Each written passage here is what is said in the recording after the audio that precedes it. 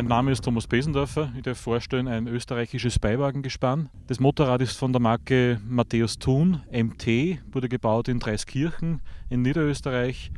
Baujahr 1929, ist sehr englisch anmutend, hat einen englischen Motor, viele andere englischen Komponenten.